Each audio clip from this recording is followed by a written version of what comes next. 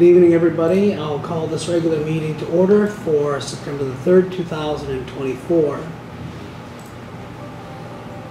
Resolved the agenda for the September 3rd, 2024 regular meeting of council be adopted. Moved by Councilor Whyte, seconded by Councilor Powell. Councilor Medwid. Uh, Two potential additions. One, there was a HR meeting August 19th that is not on in camera that I'd like to have an update provided to council on. And there was also an email sent to council, I believe it was August 20th, from Services to Seniors advocating on behalf of a senior. I'm not sure, I don't see it on the agenda, and I'm not sure because it's a specific senior, if uh, maybe that should be held in camera as well. Uh, We can add the HR, uh, uh, some pieces of that. The committee has not met with the CEO about that yet, but um, we can uh, discuss it a a little bit in camera if that's fair. We're ready to do, we have really, yeah, there's nothing really there else to, uh, we just haven't had a meeting on that yet. Uh, On the other, that, uh, that was a letter that was I guess we can talk a little bit about that in camera as well. That's just a that's a, um, something that was asked by, uh, a member of the committee. Um, so those can be added to the camera. Counselor, Uh, just a thought that I see there's owners in hotels here who maybe move the agenda from eleven to one, I believe, until after four one. Just to do it, it seems to be like a lengthy meeting if you want to stay, I'm sure that you're more than welcome to stay, but I'm up to you, I guess. Well, it's not up to me, it's up to council to decide if they want to change the, the agenda and the order of the agenda. So, um, do we need a resolution to, uh, actually to have the items added to camera? I'll just change the resolution for the amended agenda. the amended? Okay, so then I'll just reread that then. Let's deal with one thing at a time.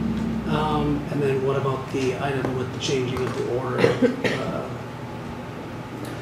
Uh, Uh, We've dealt with this I'll- once I'll before. move that and update the agenda, but if those are the three items, the HR item, service to seniors request, and the rearranging of the agenda. That's what is being proposed. Council Whyte, Is it also protocol and expectation for us to, we ask to change the agenda, add to the agenda, there should be even time for these, uh, our executive to get it on the agenda, Uh, not no. to do that at the meeting? it can be done at the time of when the adoption for the agenda has been done.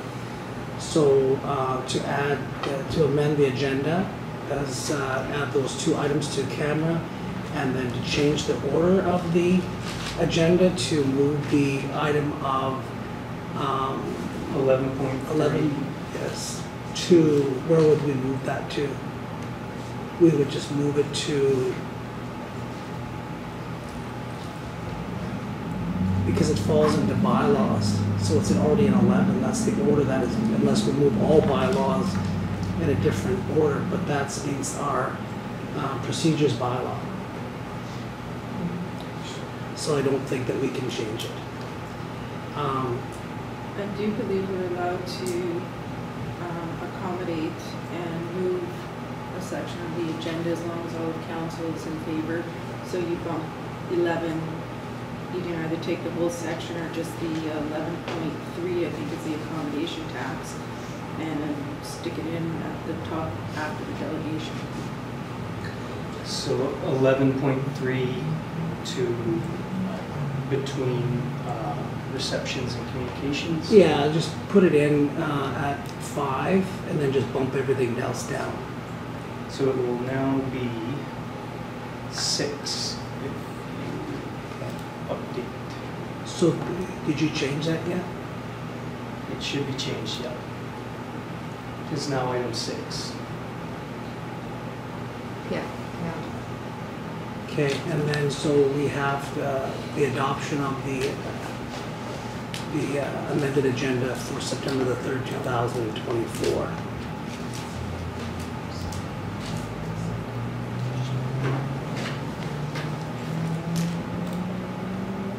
There, if you update when the rates change.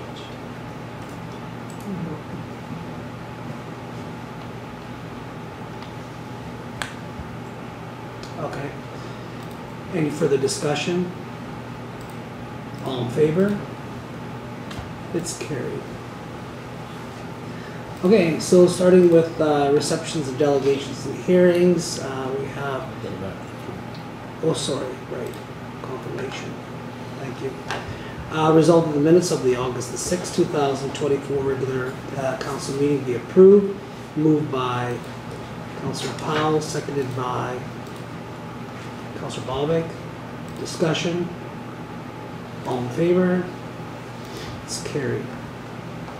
Now four, four point one, uh, we have the uh, delegation on the property of three forty-six Sixth Avenue South, uh, with, uh, Erwin and Tammy uh, Zaretzky.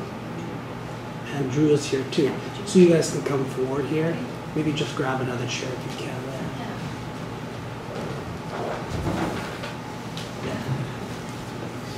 So council does have information package that you did present Okay. prior to this meeting, uh, that they were able to uh, review on their own. And uh, this is an opportunity for you to speak. Again, you're going to speak for, Yeah. um, the- for Drew, unless Drew's Yeah. going to speak as well, that's his option. And uh, uh, this is again not an item for debate. Mm-hmm. Uh, You can present, council can ask some questions, or you can, questions can be answered, whatever, okay? I can't guarantee that there'll be any discussion or or decision on this tonight, Okay, but it will be something that council will look at uh, down the, in the future, okay? okay, thank you. So carry on, Uh, introduce yourself. Ab- Absolutely. Okay, um, my name is Tammy Zaretzky Denischuk, and I think I, I know most of you. I think Mr. Bobick, I haven't, you were, I worked with Cindy, and Drew plays hockey with, with Tracy, and I've had, know you from uh, school or from work, and I'm glad to be here. I've never been here before, so this is neat to meet. My husband Drew, or Erwin, yeah, you've had many dealings with Erwin and Drew, so uh, he's on board as a landlord with Erwin and I as well. So this is a new experience for him as well, for all of us. So first off, I'd like to thank you for having um, the meeting moved from last last month to this month. Um, um, the information that we're about to discuss is really important, and and it's regarding Drew's property, and there's lots of financial ramifications with it. So we wanted to make sure that the, that we were in a state that we could present it to you in a, in a way that you would understand it and, and see it from our point. Um, our goal and our wish is to hope to provide you with information that you can see why we wish for the order to demolish Drew's house on 4th, 4, uh, 346 6th Avenue South at Swan River to be rescinded. Okay? Um, we wish, we will also try to point out some inconsistencies that we had seen within how things were and uh, what is, which has brought us to this unfortunate situation which where we are right now. Okay. Um, okay. First off, I would like to ask how many of you, before you voted, you know, two months ago, actually saw the house? Can't ask the question. I can't ask the question? Okay. Okay, and I, to me, that would be important because um, this is to destroy a home. This is to destroy a house. It's not just to take something apart, it's to destroy a house. So if I can't do that, that's okay.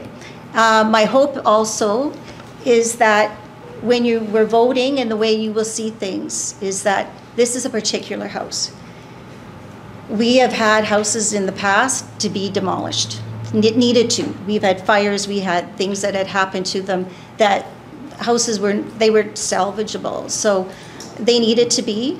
Uh, we've had small houses, big houses, and I just hope that, you know, you don't see the neighbor Denischuk home or Denischuk house and it becomes a blanket statement because this is a different house. Drew had bought in this house. They had made major renovations into, into it. Flooring was changed, cupboards were changed. He put stainless steel pl- appliances in it because he was going to be living in it. Then we had an opportunity to for a grandma that enjoyed, who had two grandsons that liked playing video games, that they could they were wanted to have a house. So we had the opportunity to rent it to them, that's what we did. And everything was good. Except COVID came, money came, and that changed uh, how things were, the lifestyle for that family, unfortunately.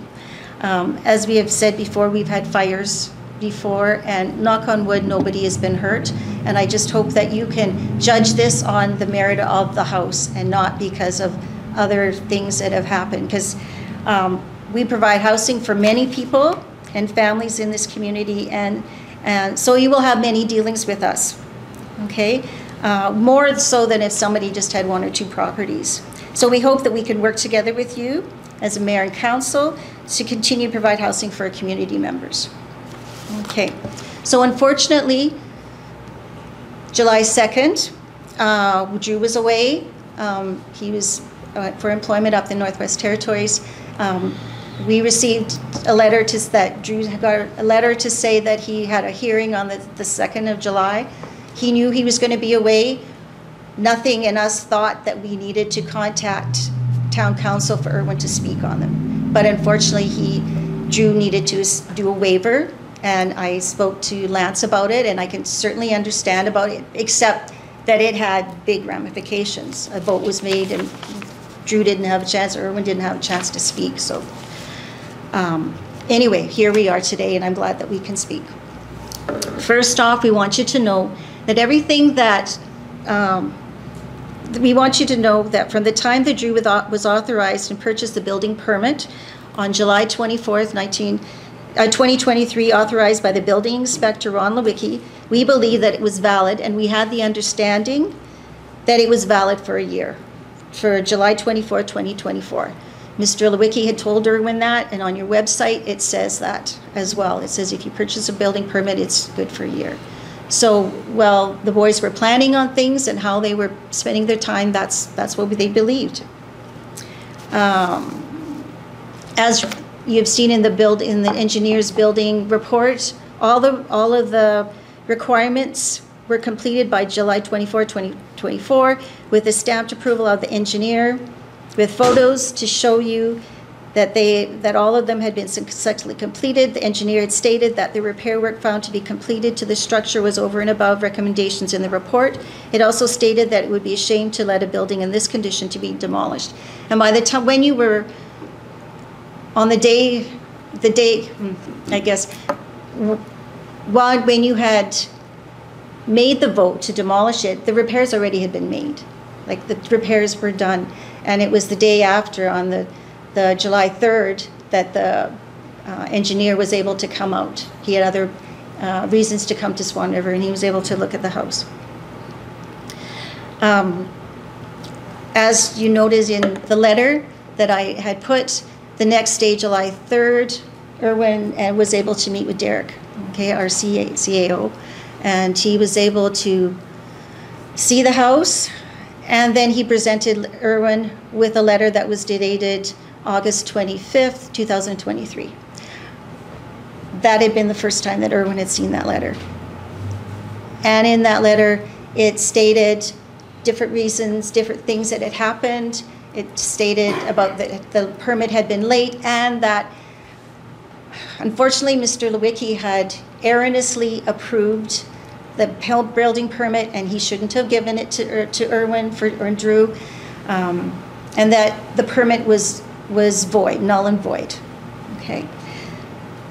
So I feel that um, now that, that the house is all repaired, we're kind of going backwards on things that would have happened, if would have happened, could have happened, should have happened, how it goes like that, okay? Um, Just going to that letter, uh, we appreciate Derek's honesty. He said, should that letter have been with, that had just such financial magnitude and importance to it, should have been registered, it should have been. Was it? No, it wasn't. Okay, unfortunately, the assistant didn't make the, make it registered. Had we, we would have signed it, Drew would have, and different things would have happened. Had we gotten the letter, Drew would have been able to see that. He would have, if it was incomplete, do with the things that he needed to make that, that application complete. Um, and whatever else he needed to do. So that stream would have happened. Had he also known, the boys started working on the place. Um, a major thing that had to do, had to happen was the basement. The fire, the fire took place in the basement. There was wood, there was de- debris, there was beds, there was clothes, there was a major mess in the basement. That had to be cleaned, and then it had to be uh, uh, power washed. And so that was something that had needed to get done before even any of the repairs could be made. So, had Drew gotten that letter, he would have, before he would have been starting to do that, make you spending money on that, they would have been, they, he would have been seeing what he needed to get done from Derek before he would spend the money in that. Um, one of the major holdups with the insurance company was that who was paying for the cleanup because it was a major expense. So, um, so I've spoken to you about the, the engineer's report, and then I've spoken to you about the letter from the 25th, uh, 2023. Now I need to speak to you about a letter that you received, a phone call first that he received from Mr. Lewicki. So the letter says, the permit is null and void. We weren't aware of that. We did not know that the letter was null and void. He sends his phone call, he says to Erwin, what's going on here? You know, you, what's happening with the house? You know, we need to get a report on what's happening. You Got to get it fixed up. So um, he or he said he wants to come and make an inspection of it. So the cleaning had happened, but some of the repairs hadn't. So he was going to have an inspection with Mr. Lewicki, and then he said, let, he said, no, I'm going to cancel it because we've got till June 24th to get it all done. So that's why he canceled it. Okay. Um, seeing that Mr. Lewicki was very dissa- dissatisfied, the boys went to town and got the things done that he needed to get done on the house. Um, by the time that he got the letter from Mr. Lewicki and the order for demolished, then on the May, the repairs already had been done. Okay, um, and I guess with all that, then we have to look back. The the permit was null and void. In the letter, it says, according to. Um, did he put? Yeah, the, the letter, it says, uh, quoting from Mr. Lewicki, the letter dated May 9th, 2024, he stated a building permit was issued on July 24, 2023, the proposed renovation on the above address. So he referred to this building permit as if it was valid. Okay, he requested an inspection. He was doing this on a, in a permit that was invalid. So I don't know, I think it was CC to Mr. Lewicki, I'm not sure why, why he did. He, he's not here to defend himself, but the request that he made, he shouldn't have been. It was illegal. He should not have been asking the boys information about a, about a permit that was already null and void. Um, Okay, so although the permit was deemed null and void by Mr. uh, Poole, Mr. Lewicki requested an inspection, um, all that's information. You know what, he should have been telling the boys, stop working, you do not have a valid permit. He didn't do that. He continued on asking questions. Um, He said, and then he said that the boys hadn't been, hadn't commenced in six months. Well, that wasn't true. The boys had been doing all the cleanup on that. And then he null and voided that permit again because of that, um, because it hadn't, enough work hadn't been done at that time. Um, He also, in that letter, stated, I said to you, uh, how does he say it?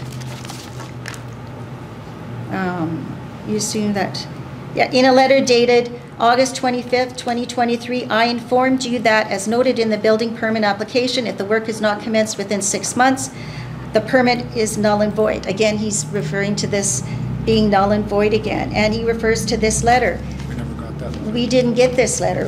Um, And it, he says I, so it comes from him. It doesn't come from Derek Poole, which was also dated on that same day. So we have not heard from that letter, about that letter as well. Okay?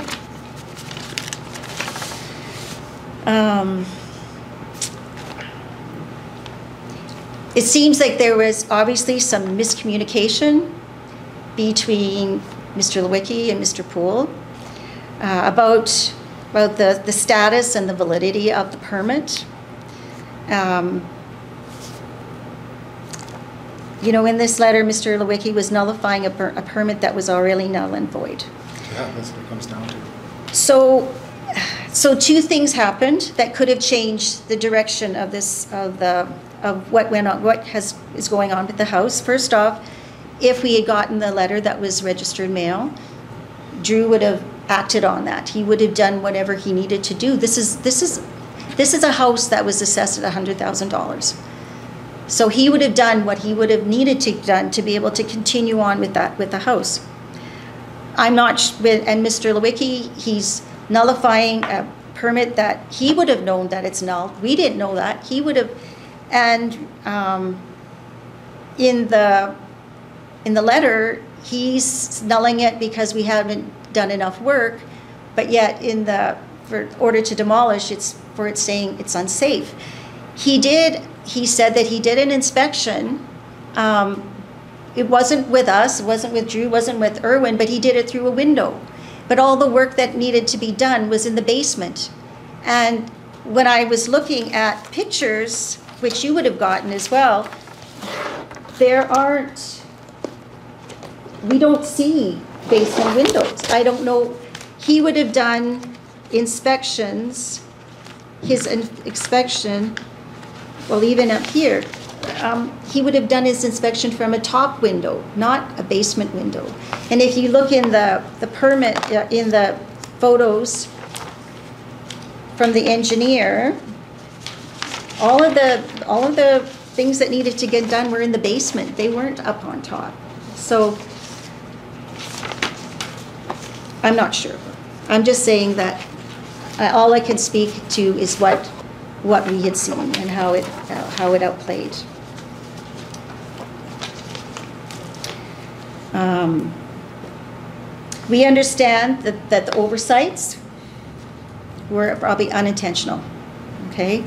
Um, But if the decision is not overturned to dis- rescind Drew's, um, the, the order to demolish Drew's house, it'll lead to un- unintentional financial losses to Drew as the owner of the now structurally safe house. Uh, That has been assessed for $100,000. As from the engineer's report, you can see that Drew's house on 346 uh, Sixth Avenue South in Swan River is now structurally safe. And he would like to proceed with the next set of renovations, which he needs for the main floor, with electrical, plumbing, whatever needs to get fixed on, in that house. Um, In conclusion, um, if our mayor and town council do not rescind the order to demolish Drew's house, uh, Drew will have to take the advice of the engineer, who, who Darren Eady, and to seek the advice of a lawyer, and to determine if Drew's rights have been violated, and how Drew can protect his investment in this property. Thank you. Uh, Any questions? Go ahead. I did read all the attachments that uh, came with your delegation. Um, We've obviously admitted to some administrative errors on our part. It does look to me like there is some confusion Mhm. in the means of communicating, especially when there was potentially a piece, one, missing Yeah. that both parties weren't aware of, as well as the way you've indicated that as of that August Yeah. 25th date, the permit was null and void, Yes. but a follow-up the following year is indicating where are you at with this work. So that is, I would agree, very confusing for me as well. It was. Uh, My question would be, is your engineer also indicated maybe in working together on this Mhm. for, for us to sit down basically and Mhm. Nail down a timeline Absolutely. and fo- follow a strict timeline to Yeah. get this house back to a lock-up and occupational state? Yeah. So with what's remaining to be done, roughly speaking, how much time would be needed to get that work done?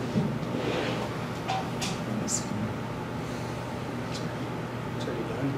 Well, the structural part is done, yeah. There's like, I mean, Derek saw it. What do you, what do you think is reasonable? You saw the house.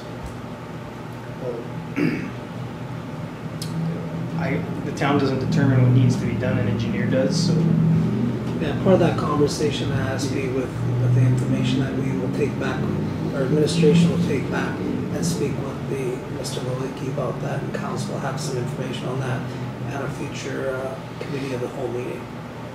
I don't, think- I don't think that we can actually answer that right now. Go ahead. Um, yeah, so I've, I've looked over your information, I've looked over the information at administrations, and there's a point of confusion for myself, and that is the building permit being rescinded after, in December, or, and I'm gonna ask or make a recommendation that we send this file to the next COW, where we can have administration and the building inspector walk us through that, and exactly what happened at that point uh, to go, because I clearly remember the discussion where Mr. Denischuk was here uh, after the fire about uh, replacing the beams and stuff like that, and I clearly got into it with him regarding the beams and that, so I clearly remember that. And I clearly remember us agreeing to move forward with the repair.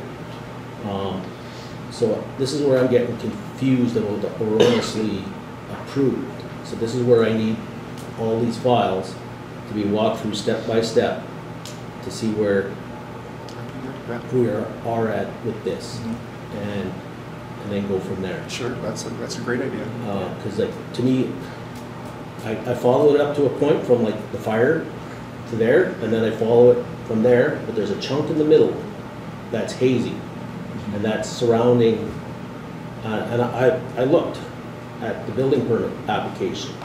There is no date on there that it says it has to be, uh, with one, like, there, there's, there's comments made and statements in letters that are not on the literature. So I need to have that walk through me and everything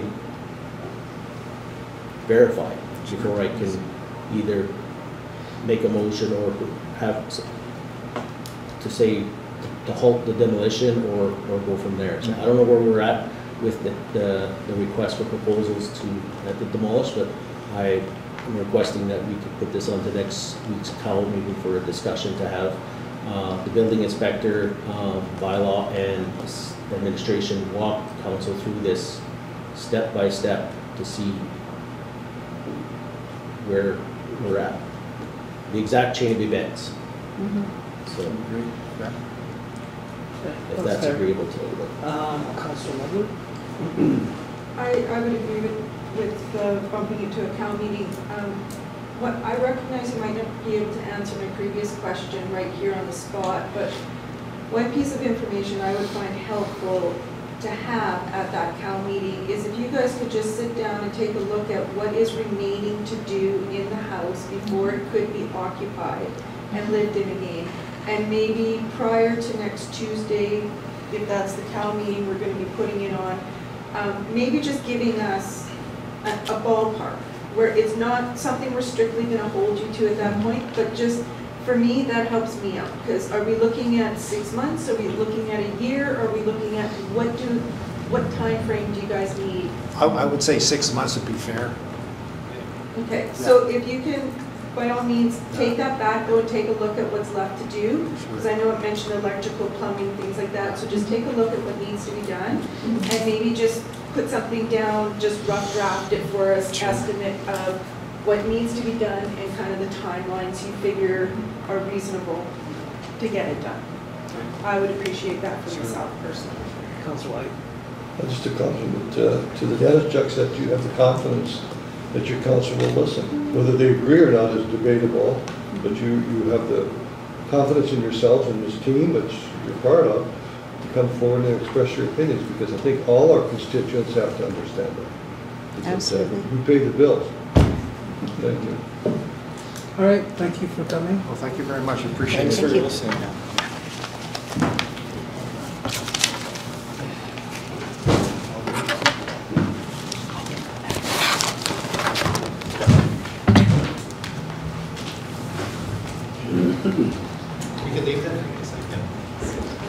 Okay, then moving on to, uh, uh, something under five, six, third reading, uh, accommodation tax.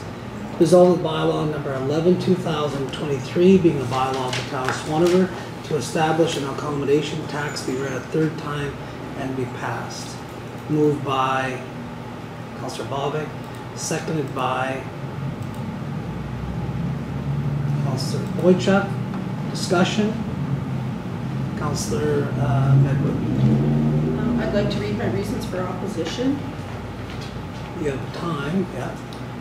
Okay, so on August 13th, the Committee of the Whole meeting, the General Government and Finance Committee communicated to council that they had a very successful meeting with the hotel accommodation businesses and the President of the Hotel Association on July 18th, 2024. Their report stated that the hotel businesses were accepting of the bylaw with only one request, that the compensation be a percentage of the total tax collected versus a flat dollar amount. August 17th, 2024, council received an email from Ramona Doherty. Thank you.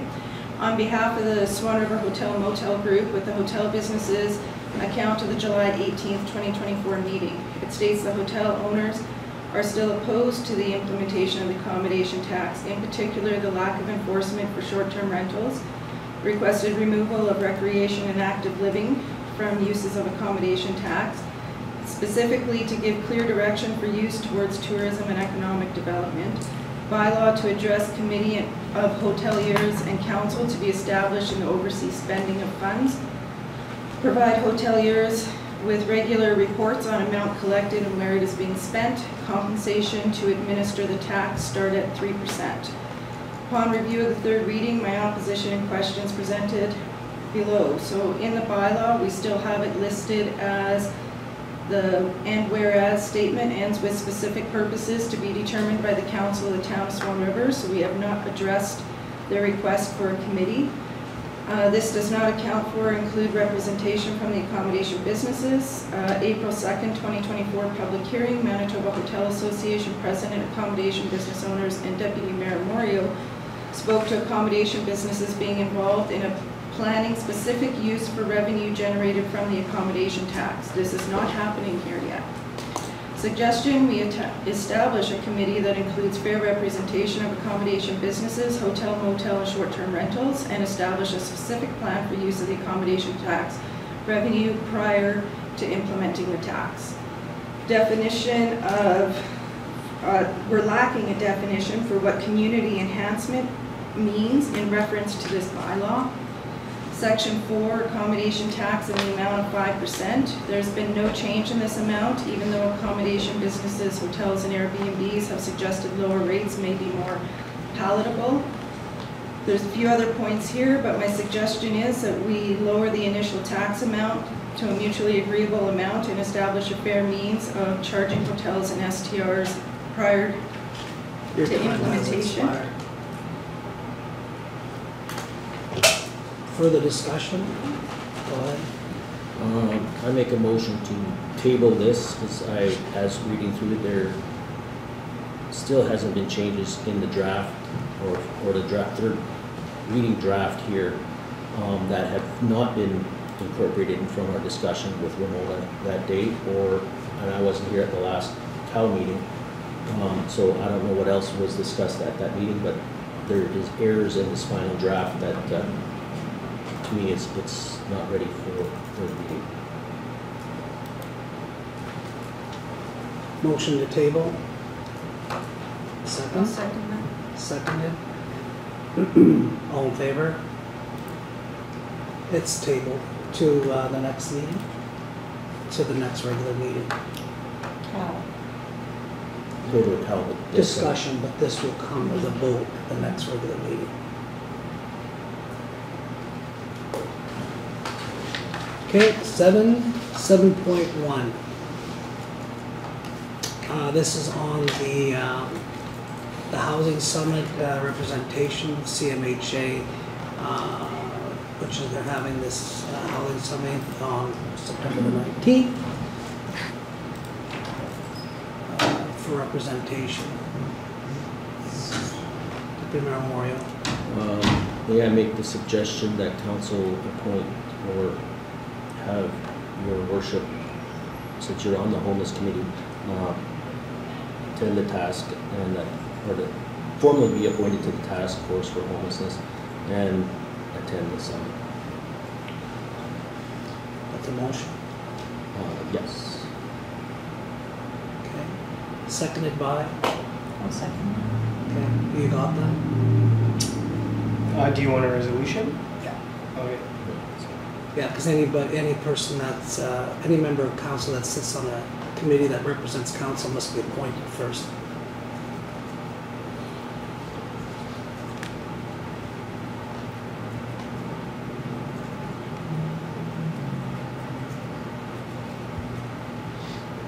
But we don't have any details as to where the summit is. Yeah, I sent an email to Ms. LaPasse today.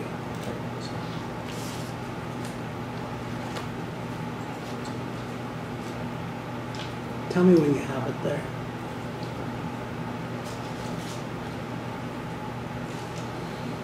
And you should update.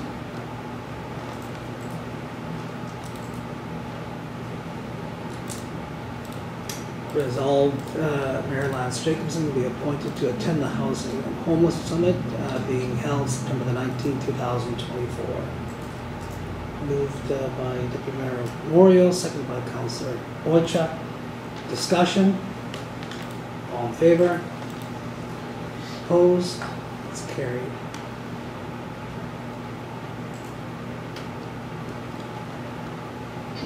Okay, seven point two.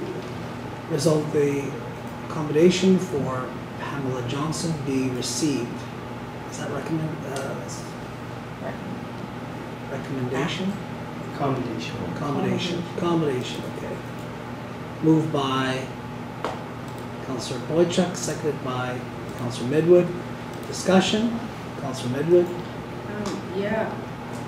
Why is this one not open to the public on the agenda as there's a few other items on the agenda that could be and should probably be open to the public? Uh, it did have the personal information, so we could have redacted those and blacklined them. I just didn't get to it. But that's personal information, which is not allowed. Counselor Baldwin?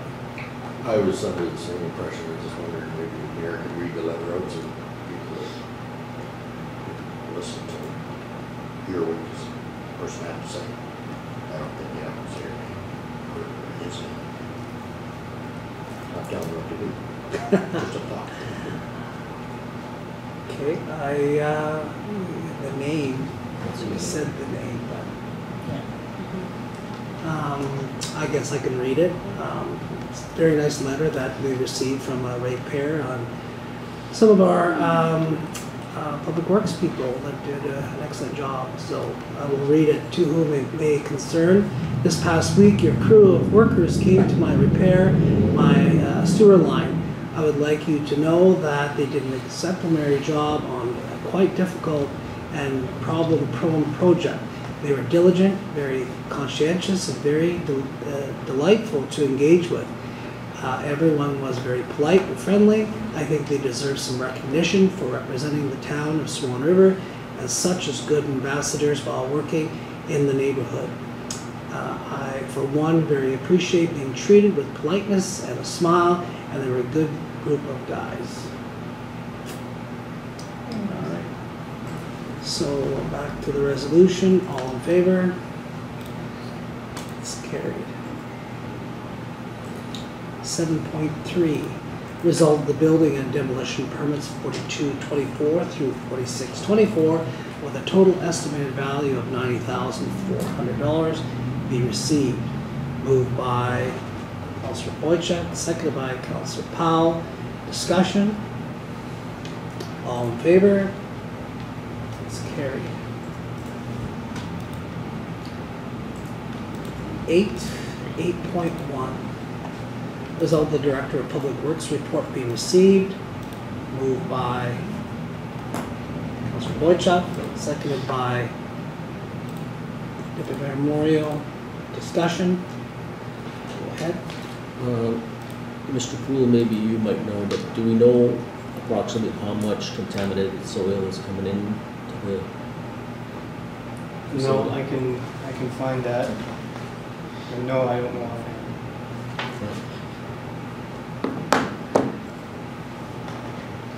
Anything further? All in favor? It's carried. Eight point two, resolve the Director of Recreation's uh, report be received, moved by Counselor Powell, seconded by Counselor Boychuk. Discussion, Councilor Whyte. Yeah, I'm sure everything's uh, as it should be, but with the, with the ice not getting in, as everybody's aware, that, that put us behind the eight ball and potentially lost some uh, players who may or may not have made our camp, may or may not have made the team. And that thing comes around every year at the same time. And, uh, yeah, things break down. Could we not start it a couple days earlier to preempt that happening? Just to, like, two days should be enough. Maybe we better look to three or four. Is, it- is our bill, is our hydro bill gonna be crazy because we start two days earlier without people in there or not? So uh, I'm concerned why we don't, didn't uh, get on that sooner. You want to comment I on can speak to that a bit. Sure. So we turned our plant on on August 2nd. We don't turn it on any earlier or we have another $10,000 hydro bill to run it in July. So when we turned the plant on, it wasn't running right and it took a long time to diagnose. It ended up being a sensor under the floor. So in in July, we're actually started and because of the sand in the pipes, we have to soak it with water. It Takes about a week by hand, soaking, soaking, soaking. Then when we can turn the pump on, or the ice plant on, then it will start to cool and freeze, then we can start to flood. So it wasn't until that point that we didn't know it wasn't working right. And Swan Pod dropped everything else on their workload and came and spent days with us trying to figure out what our problem was. It's unfortunate that it did push it back, um, but it surely wasn't for lack of trying to get back on task. I don't necessarily feel we lost any players. Uh, the conditioning camp got pushed back a bit, but the Stampeders were able to make up for some of that. We added in a few hours for them, and I think, I believe, I'm not sure if they lost revenue or, or not, I don't know that piece. But we, I don't believe we could start any sooner. That plant is not built to run in July. Um, it, it, it's been really difficult, even today being plus thirty-one. Our plant sits at twenty-five, which means we can't flood the ice because it heats it up too much. So there were multiple issues with it, and it took a long time. We had electricians, we had Swan Paw, we just had so many people trying to figure it out frantically, trying to figure it out because we didn't know we were gonna have ice at all. So we I, started like three weeks before the due date.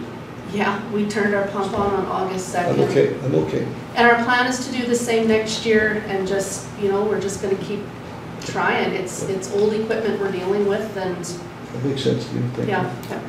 Okay, thank you. Further discussion? Go ahead. Um, under your veteran call, just for point of clarification, we recently installed that brick in quotations phone charging station as a trial. What is a brick phone charging?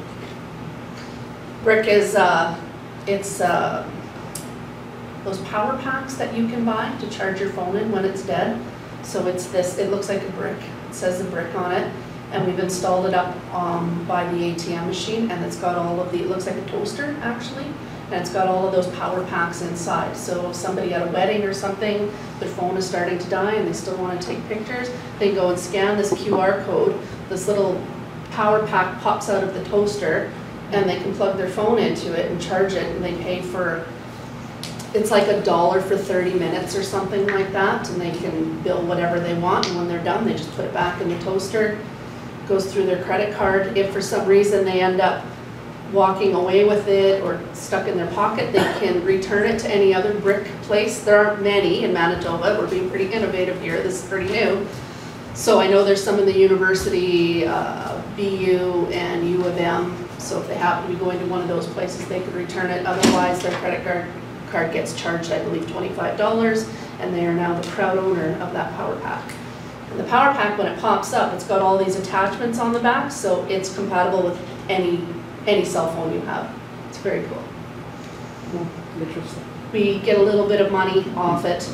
Um, we haven't seen any revenue yet, but it was just another service added to that building. Okay, and then second question regarding the disc golf park with the damaged hoop. Uh, were we successful in getting that repaired? Adequately, or? Yes, uh, so Corby was able to reinforce the welds. Um, we risked, we reached out to, um, I forgot the company name, the disc golf people where we ordered the parts.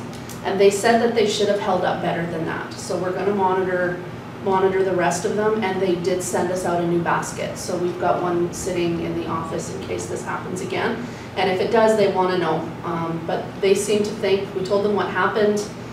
Uh, we told them that it was adults or teenagers, you know, some, not somebody little jumping up and down on it, and they felt that that shouldn't have broke. So feeling that hopefully it's just a weak one and fingers crossed it doesn't happen again.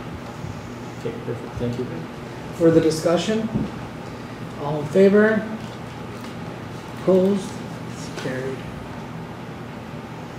Okay, eight point three. Resolved the July two thousand twenty-four Swan River Handy Transit Van Report be received. Moved by Counselor Medwid, seconded by Counselor Bobbit, Bobbit Sorry. Discussion? All in favor? It's carried.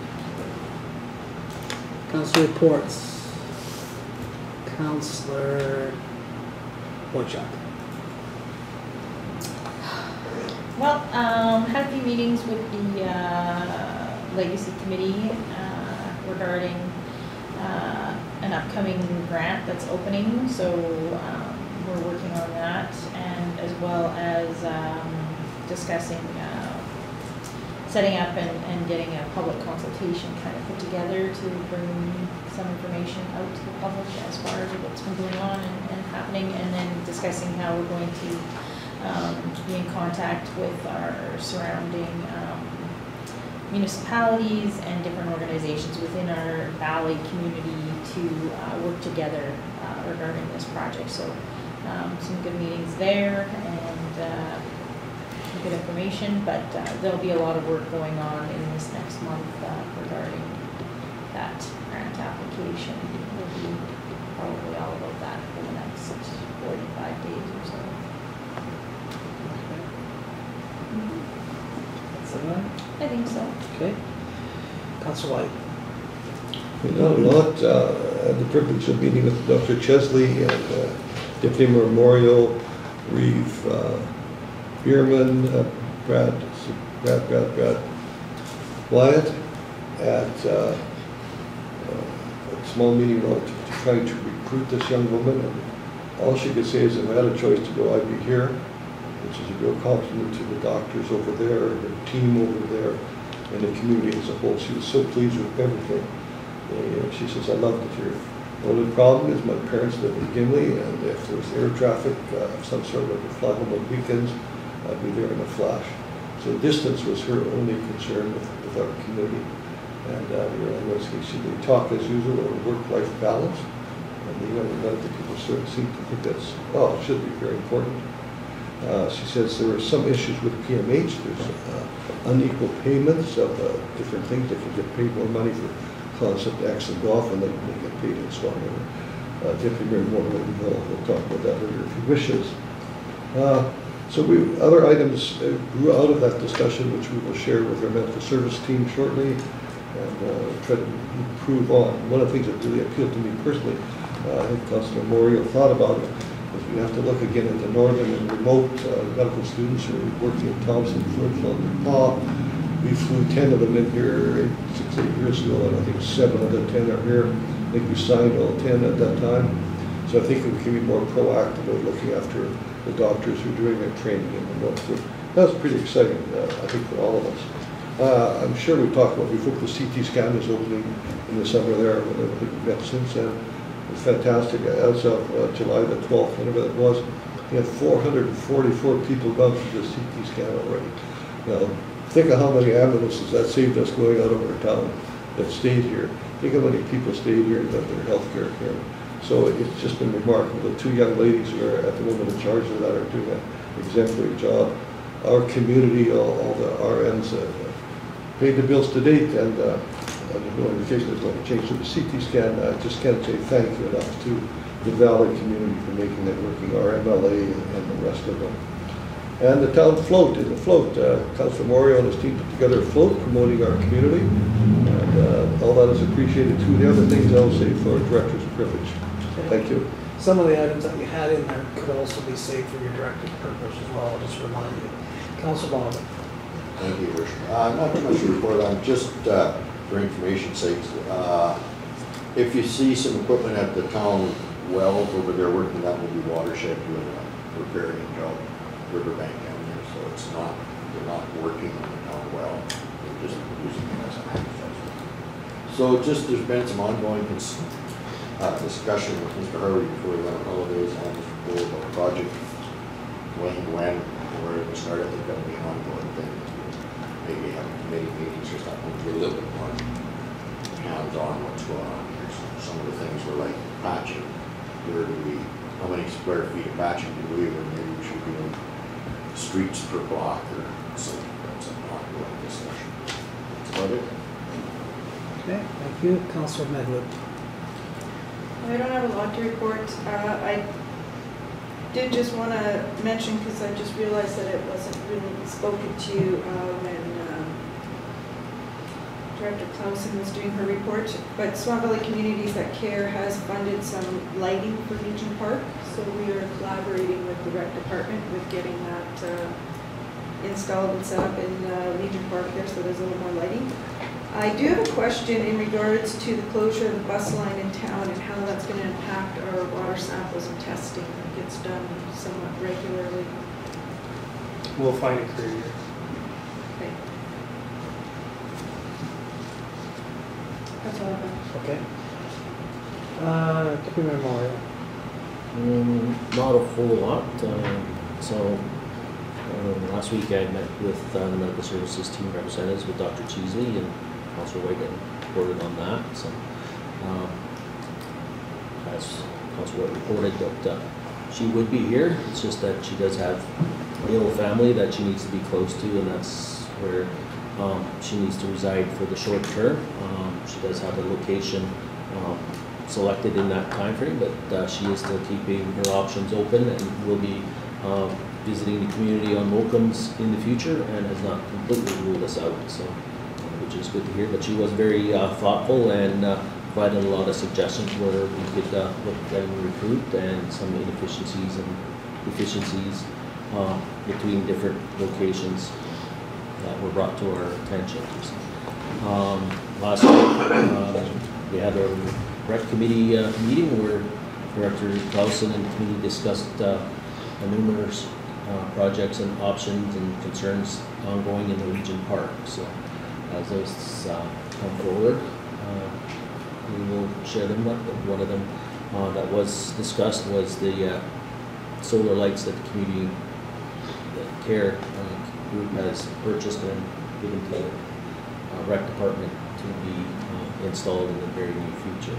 So, um, And then just ongoing dealing with public and their concerns regarding um, the discarded needles and that issue. That's all I got. Okay, Thank you. Uh, Councilor Powell. Okay, well, I think pretty much everything has been discussed. Maybe, um, we met with the rec, um, legacy committee, we met it. Um, Um, I guess the library ha- had a, a meeting, we've had a couple meetings with them. Um, It's been, uh, it's really been a a breath of fresh air having a a head librarian in, in there now. Um, things seem to be really, really moving along and there seems to be no real issues. Things, things are just, it's, nice to have someone in there taking care of that. Um, we do have to say a huge thank you to Dawn Jean Slack for, for picking that up in the time that she's been able to kind of just step away right now, so that's been a good thing. Um, yeah, there has been lots of, uh, lots of discussion with, um, people in regards to, um, the discarded needle, so we, we, uh, we've got a few things in, in place with, um, just with our friendship center as well, but I think everything else can be mentioned at the, after Okay. the announcement.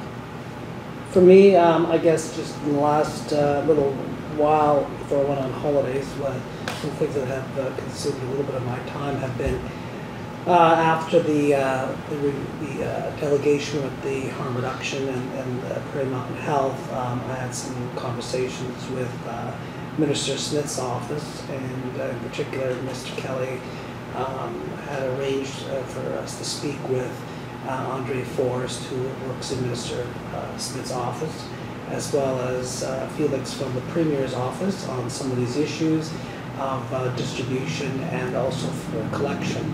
And um, they are working right now with, uh, in the midst right now with Prairie Mountain Health and, and coming up with some solutions on some of the stuff, but that's still not been fully discussed, uh, discussed yet, but there are some things that they are working on. And, and them understanding that, or hearing our concerns of uh, needle distribution and the thoughts of um, we are responsible for the collection of, uh, of uh, uh, used needles within the town. And uh, they didn't completely agree with that.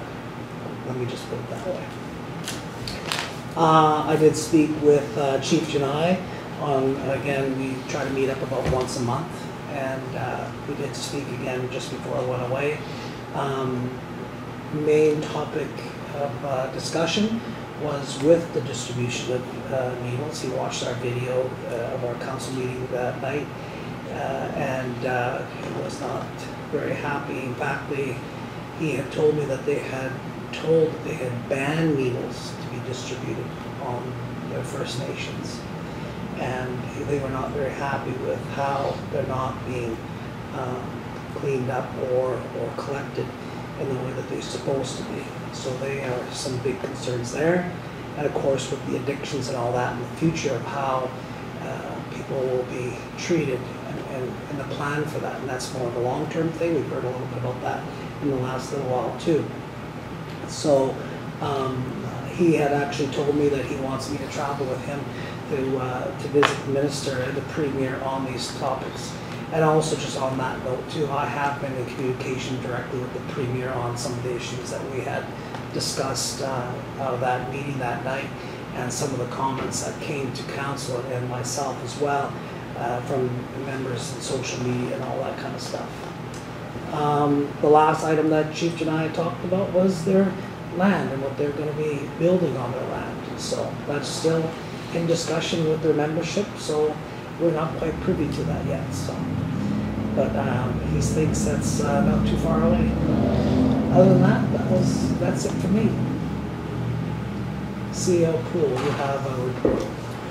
I have a lot for council. I'm not going to go through all of them, but first I need to apologize to Deputy Mayor Moriaux when he said I had the wrong attachment during the accommodation tax uh, resolution. I was in, I did not believe but I do. I was, I reviewed what was in the file, not what made the agenda. The attachment is wrong. Uh, I apologize. I don't even get the council's plans. In the way of council's plans. Uh, As for my report, the, there's a, there's a lot there uh, in terms of communications internal and externally. But just for my, my office, uh, if council can note that September 24th will be the, the priority workshop, so we'll go through that with administration. Uh, And then you'll also see at that Cal meeting, the capital project status review for council for, for discussion for next year's budget. Uh, As for the bylaws, just quickly noting the accommodation tax will be tabled, the pet ownership uh, really isn't getting a priority. We, we, we've done some sit-down meetings, but maybe once we get into the winter months, uh, we can bring that back. I think the, the priority session will help determine where that's gonna sit and where the, the animal control bylaw goes. Uh, And then the one that's not listed, but uh, is being looked at is the incentive, uh, incentive plan bylaw in regard to the delegation we had this summer. Uh, And as for the McCullough report, I'm not going to be speaking on any details. This is a public meeting out of respect for our employees, but uh, I do ask, they're long, but please read the, the implementation plans of, of what we'll be going over in the next Cal meetings, uh, over the next few months. And then just, uh, I guess what you'd call our, our achievements in internal and external communications. Uh, That's it. Okay. Councillor Medwid. I have a couple questions regarding your report. On the page one by law enforcement where it says working discussion on future policy slash bylaw amendments to bring to council, including how to specifically deal with loiterers, domiciles within town limits. Have we, have any discussions taken place yet? Just nothing since our last meeting. That, that bullet stayed there. Uh, we've only had the one initial meeting of the employees and, and that's it. So when we, when we get to there, I think that, that'll be another one where, where I'll be asking, what's council's priority? Do do they want us to draft this or the incentive plan or the animal? What do you want us to spend our time on? So, uh, that's where that lies. Okay, under municipal office at the top of page two, meeting with cleaner to evaluate first months and working on economical solution to weeds exposed limits of building, pa- covering foundation walls, et cetera. Um, Have those been accomplished? Do we have an update on those? Because that's kind of the, That, it was, I made it very clear that, that the elected officials must be involved, and, and CAO Welk agreed. He, this was his initial conversation, that, that he would like to entertain those, those efficiencies if our two councils can, can get to agreement. So I did say that, and I can't speak for council, but I would assume that they would want this through a written agreement between the two councils, and, and he did agree. But it was basically just, uh, that municipality inquiring that they would like to join forces on those items. Where that goes, I don't know, but in the end, I said we would accept written proposals and review them if they come. I think that's speaking to um, something different, but how does that tie into an economical solution for our weeds? Oh, sorry, I thought you were talking about Manitona's Bozeman uh, No, inquiry.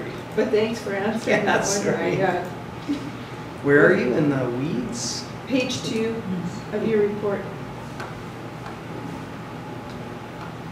How's the cleaner doing? That too, because that's been the same one for a couple months now. Yeah, yeah, uh, For a couple meetings. good, you know, we've, we've had, we've had issues that they've addressed, so, you know, they've, they've responded quite well. I believe it's, I think they're doing a good job. Uh, again, I'm, I'm lost on the weeds, what's it, what's the Page heading? two, municipal office, the second bullet, working on economical solution to weeds. Are we Yeah, to that the is, side? that's along the east side of the building here, so we're trying to find something where the parging quits and the weeds come up, the rocks are all over the sidewalks, we're trying to find economical solutions to, Have we found one yet? you know, Is it the stones or the weeds? both. Keep the, the stones in place, you may want to look into uh, landscaping glue. Yeah, I don't know how expensive it is, but you can spray down a landscaping glue and they'll keep them in place. Um, my next question was under RCMP page two. Uh, you met on August twenty-sixth with Staff Sergeant Henson, who all attended that meeting. just the staff sergeant and myself.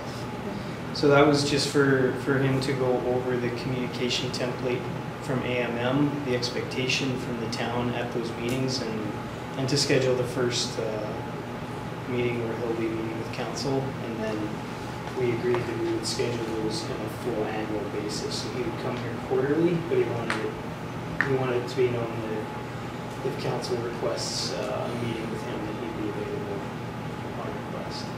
Okay, thank you. Councillor Ballard. Has there been any movement on doing something with our frontier roads, with the speaking of stones there, like a new pathway for people to come up? That'll be a Instead of the- discussion, that'll be a discussion in, in the budget. If we want, to do Ninety something. thousand dollars. Okay. We have enough for the emergency uh, control center, but that was taken. Anything further? Nope. Okay, nine, nine point one. Whereas the town of Swan River must repair the corroded pipe hangers and ventilation conditions within the Swan Valley Credit Union Aquatic Center basement mechanical room and surge tank to avoid risk of failure, as indicated in a specialized engineering metrologic metallurgic assessment report performed by Test Labs Incorporated. And whereas the town has engaged associated, associated engineer to engineering to provide project management services included pre-design, detailed design, and tender services in the process to mitigate risk associated with hanger issues. Therefore, be it resolved, the town of accept the pre-design report received from the Associated Engineering. Moved by Deputy Mayor seconded by Council Boychuk. Discussion. Councilor Medwid. I've read those reports. There's a significant amount of money that's gonna be needed. Um, where's the money coming from, is my question. Yeah, so council's aware that um, to get to a tendered document, if you see on page, just so everyone's understanding of this process, it'll be on page two, right at the very top. So the proposal we got? Uh, sorry, the administration report, Thank you. sorry. So council can see the prelim design, design development, design construction uh, docs, and tendering services. That section there gets us to an actual tendered number. So it's, it's going, if you add that up, that's what the cost is to get there. They're estimating twenty thousand dollars for project admin during construction and commissioning. Uh, we've, we've asked them for a Class D estimate, they provided that to replace the pipe hangers, two hundred and ninety-two. For the ventilation to change the air conditions, two hundred and fifty-four roughly. And that's not included their costs, so I'm taking total project costs right from the start, not just construction. It's what they're estimating to be tendered, plus their own project management costs, for a total of six forty-six. So if you're asking one fifty-eight come, when budget came, I qualified that number saying, we never do this, and this is why. We, at the time, we had the metallurgic study from Test Labs, it was just changing out a few hangers. Now there's the surge tank, now there's the air conditions. We're not looking for a hundred and fifty-eight thousand dollar fix because of that, we're looking to fix the building, and this is what the experts are saying it's gonna cost. So to qualify that number, which is a big number, it's very important, and I state it, important to note that the pre-design Class D estimate includes a fifty percent contingency. And that to any, anyone who understands construction will tell you that they just simply don't know what's gonna happen. If you put a fifty percent contingency on something, that's them telling you that they have no idea what this is gonna cost. It could be three hundred and twenty-three or six hundred and forty-six as of right now. So to, to how we're going to pay for this, council would have to, A, are we going to move forward with this? Like, we have a resolution to, to go through to tender to get the project management done so that council sees what this is gonna cost. Uh, We will require residents, it doesn't mean that we're just gonna go ahead and do this. We'll have to determine, I'm sure myself and the CFO will give you a proposal of how we're gonna pay for this prior to this thing, to council seeing a tender. But you need to be aware of the major changes in this project. Uh, go again. Deputy Warren. Oh, yeah, you're awesome. Okay. Um, how much of the one hundred and fifty-eight thousand dollars that we did actually budget for has been spent? Like what's remaining? Right now, officially fifteen thousand five hundred ninety-two, but we're expecting uh, their design development invoice. So that's what's remaining, or that's what's been spent to That's what's date? been spent, just over fifteen thousand.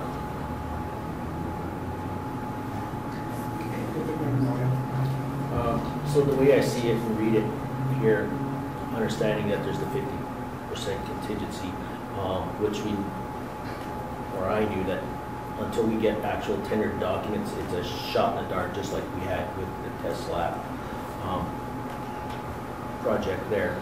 So currently, we're on track, we're a couple weeks behind from the schedule that we had set out. Um, Associated Engineering is, is doing what we're asking to do, and this is just to basically receive the report to date and basically give them the green light to go to um, tendering and talk to whoever they need to do to uh, get us firm prices and yeah, eliminate the fifty percent contingency, and bring that down to wherever so that we know where we're at, and that's when we decide as council is if this project gets scaled up, scaled down, canceled, building whatever needs to be decided at that time, which um, I think that will put us right in the middle or beginning of capital budget cycle, so we'll know where we're at. and Yeah, and, and like we have no, no drawings to go off of. As we get into class C, B, and A estimates, you know, we'll be able to review what's happening, what can we drop, where, where's the bulk of the money, how can we Right. massage it into a yeah, So project that's authorized in the financial plan hundred and fifty-eight thousand to get us to tender documents and tenders. basically, yeah. So we're not even close to that yet. No. So um, it's a project that's proceeding along, and this is just a progress report giving us a a heads up that no one knows until bidders put numbers to paper and hand it in, That's correct. and then we have a decision to make as council. Yeah. Councilor Whyte. I may be out in left field, whatever that means, not baseball time. Is there any, like obviously there's a judicial program, there's lawyers are involved, and all that's going on as we speak.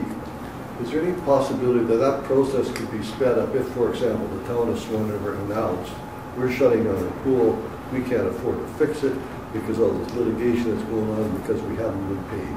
Would that give the judicial people some say, holy smokes, let's look at this program a little closer? I have no clue. I don't know if you should even comment on that. Yeah, yeah. that. Anything legal, you should not be discussing.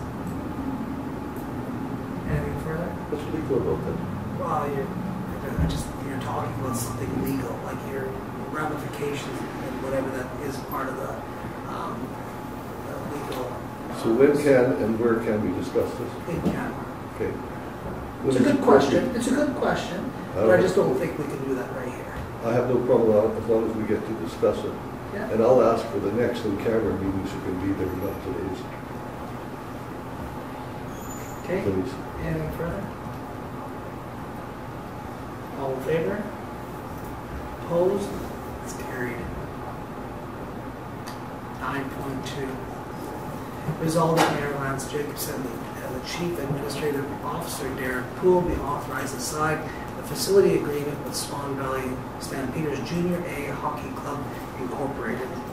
Moved by Councilor Whyte, seconded by Councilor Powell.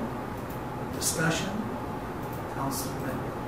The document still requires a couple corrections. There's still some mentions of recreation operations coordinator that hasn't been edited to recreation director in the new title. Uh, Page, um, section seven, A and C. Page five and six.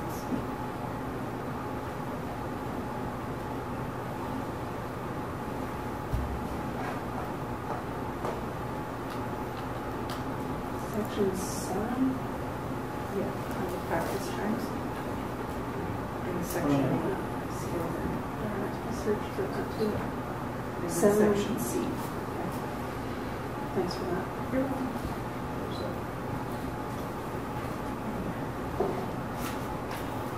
Where do we stand with that? So do I Do bring we, it do we, uh, one? can that be, uh, Do you want to go through a summary of major change? Like, I don't know if you Well, need to like go just through like the with, fees. with those but- corrections that, those title corrections, does that mean I make the corrections and bring it back to the meeting? uh, if council wants to table it? It's not ready. Changing name. Yeah. Can we amend the resolution to just state that with the corrections mentioned? So we can, We can do that. I can print off after once, just says has amended. As amended? Okay, as amended.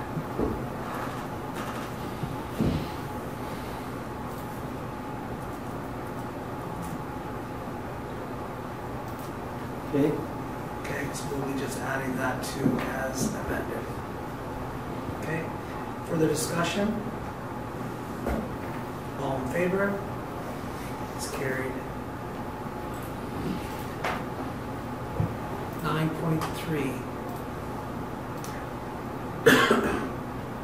Whereas a resident of municipality Swan Valley West has made application for a subdivision of land located at uh, northeast 22, 36, 27, west of the prime meridian, and has requested a letter of support from the town of Swan River.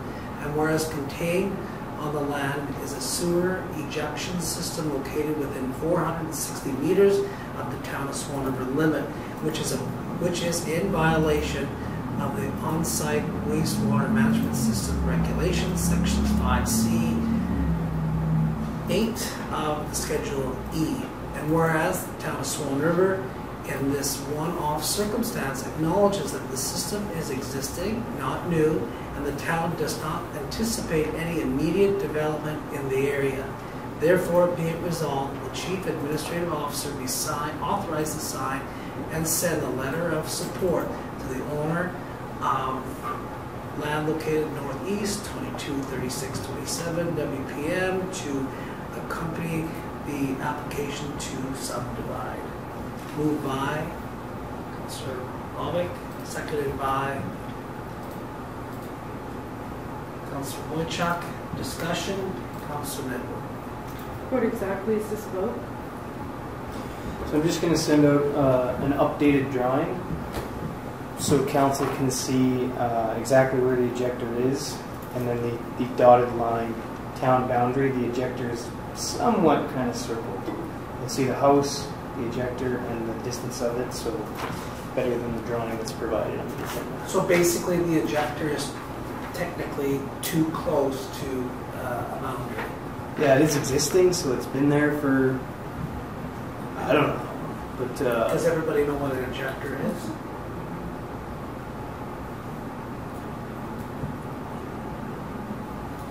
Go ahead.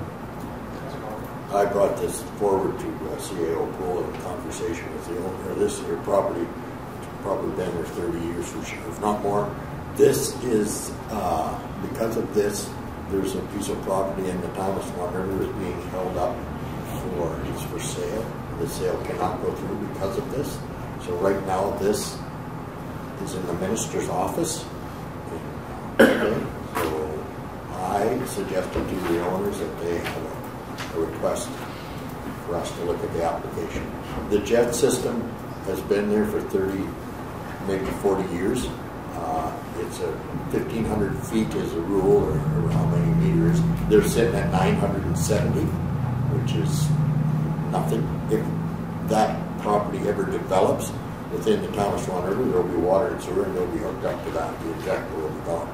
So with that, the fifteen hundred feet is to a property line. There is no residence, there is no, there's businesses that connect on the other side, uh, on Highway ten east, and they, this property is on the airport road. So that's the distance between, before somebody would be affected. The distance is what they're saying they're ne- negligible about is a property line. There is nothing in between after that property line. There's a lot more than fifteen hundred feet. Okay, anything uh, further discussion? Councilor Medwid. Yeah, I'm, s- I'm still looking for a little more clarification as to why, if the land isn't in our jurisdiction, why we're being asked for a letter of support.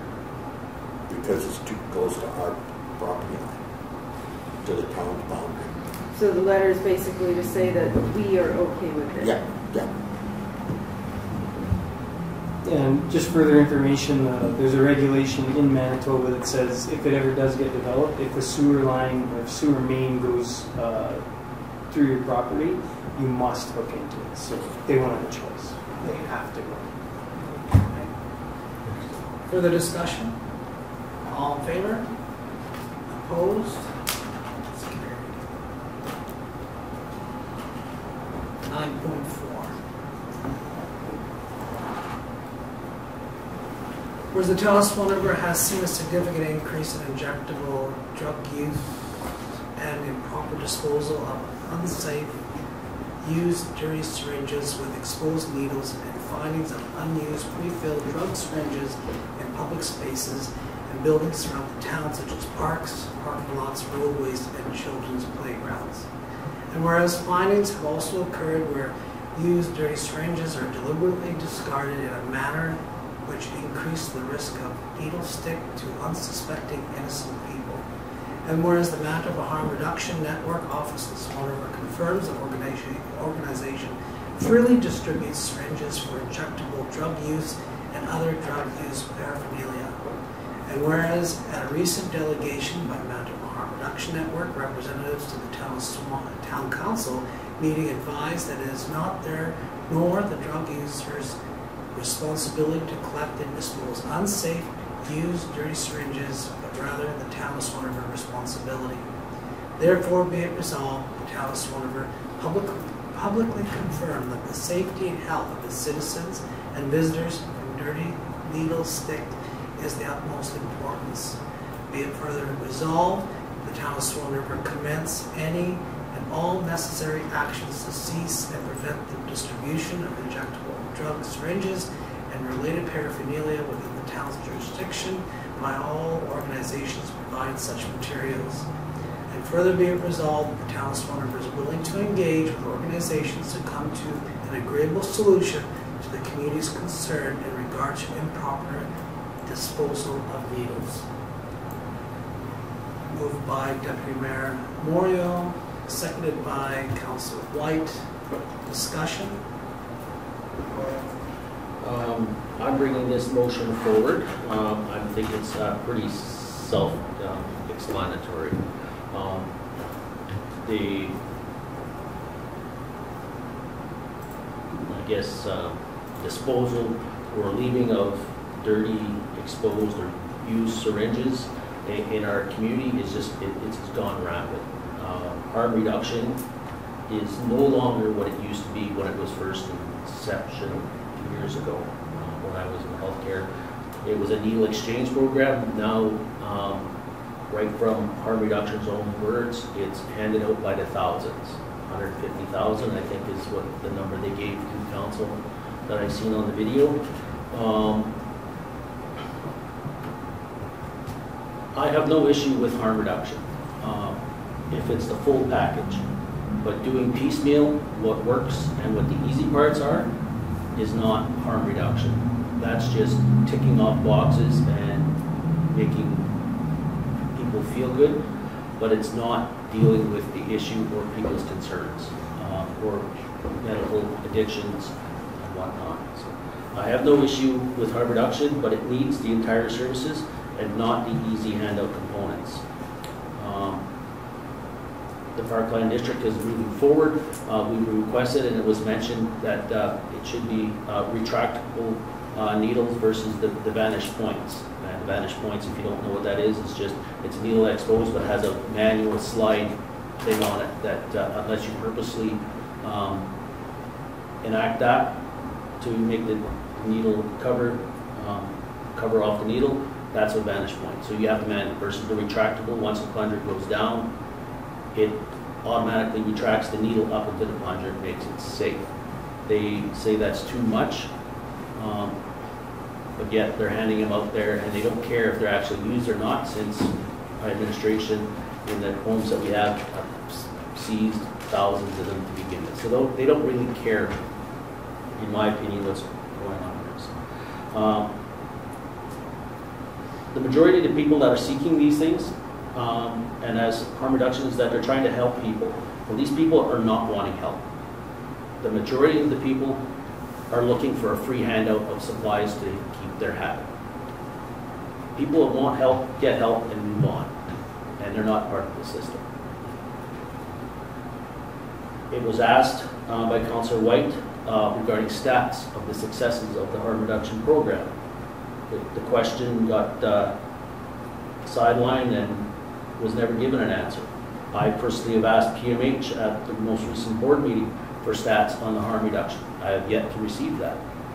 Um, I have yet to find stats on harm reduction. Your time has expired. Further uh, discussion? Councilor Yeah, I don't think any of us are opposed to having people get better.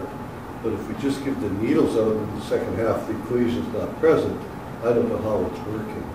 And I had some numbers shared with me, and I hope somebody can tell me I'm wrong, that PMH spends $1.3 million on administration for the HARM program, and $130,000 of that goes to program costs. So it sounds like a a pretty heavy top level stuff. Uh, If we could take uh, one of those millions out of there and spend it on social workers, psychologists, psychiatrists, whomever is, to help the people who definitely need it, I accept that, but I can't accept that this is working as it is. Councilor Boychuk? I actually was watching the news the other day, and I don't think we're far off of, of what you're gonna see happening, I think, across the country. Um, Ontario has made it very public that they're going away from the, uh, safe supply model of harm reduction and turning towards treatment and rehabilitation programs, so I think, um, this is something that we're gonna be seeing a lot more of. Further discussion? Uh, Councilor I Medwid? think Councilor Boggs hand was up first. So I'm just wondering if this resolution passes, are we going to be looking for the support of the other surrounding municipalities on this? Possibly, but that's, this is ours right now. Councilor Medwid? Uh, Well, actually, I think this is counterproductive to what everybody apparently says at the table here. Because if you want a full meal deal and not the piecemeal of the mandates for harm reduction, then I believe that's going to be better served by us having communications with PMH and harm reduction to make that happen and make those other aspects come to the community. Having a resolution like this basically stamps a seal of disapproval and we're not budging and we don't want any aspect of harm reduction or services here.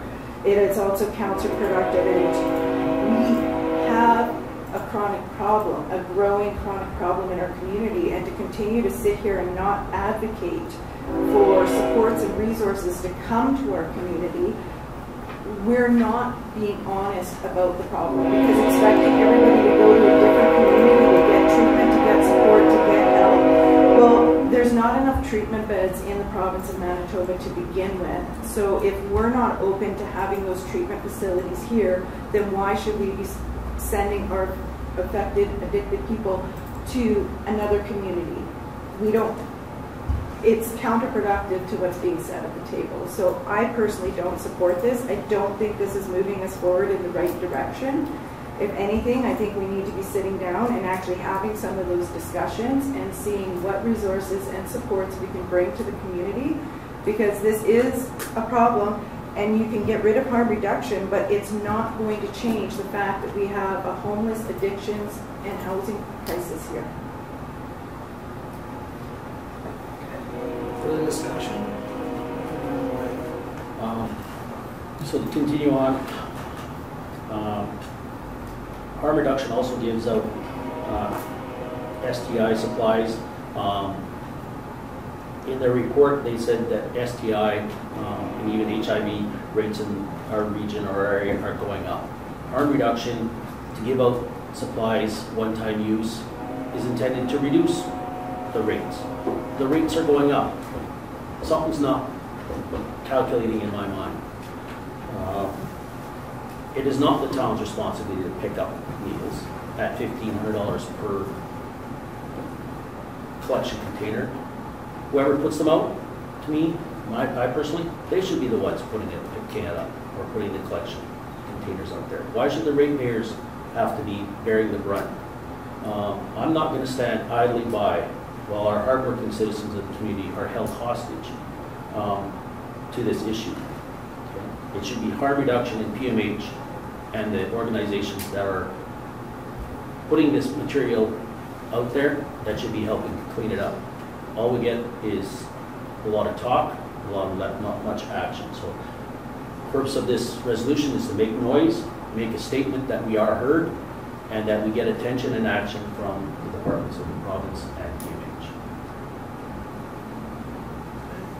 Councilor, uh, I'm just wondering where the funding for the proposed programming is going to come from. That Council Edwards. Again, that's something that belongs back to the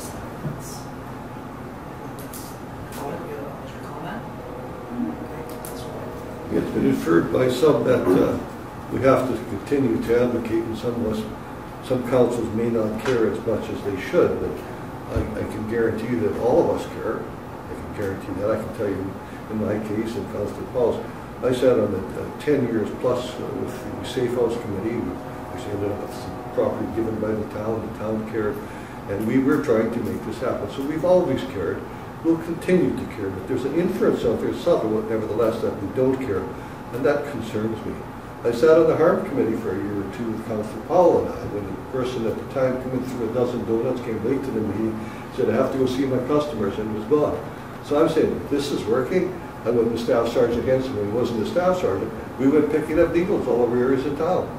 So we do do those things, and we do care, but it isn't working. I think there's something about a definition, we do something over and over at the same time and expect different results. I don't know what the appropriate term is anymore. Some would say at the time that that was called insanity. So it's not working. Anything further? Councilor Medwid? Uh, Regarding funding for the, pro- would come from provincial or federal levels, but having a bylaw or having a resolution passed that, to this effect is not going to help us win any of that funding. This is completely contradicting any approach we might make. And we aren't actually advocating. I have yet to attend an AMM meeting where we request a meeting with the minister that has to deal with mental health, homelessness, addictions, or any of those things to address those concerns with the minister. We have yet to do that. So as far as I'm concerned, no, we haven't been doing due diligence in advocating in this area. And we provide ashtrays at our public buildings for smokers. That's prohibited in public spaces, but we still pay and fund for ashtrays to be put out for smokers to put the butts in, and they still end up on the ground. We also pay for garbage cans and recycling containers. So if we didn't have any of those things, we'd have a lot more cigarette butts, a lot more garbage, and a lot more recyclable containers all over the ground. So we haven't done our due diligence in the sense of either working with the province, working with PMH, or figuring out how we're going to get uh, sharps containers in the community so that there may actually be more places to drop them off and fewer on the ground. So there is work that council can be doing to work with these organizations and to work with PMH and to work with the provincial government to get resources into our community. And I don't feel we've done all of that yet. That, that is your opinion, of course, and, and, and you have not been on council as long as some of the other people here have been, that have spoke with various ministers on many of these topics in the past. Further discussion? All in favor? Recorded vote, please. All in favor? Opposed? It's carried.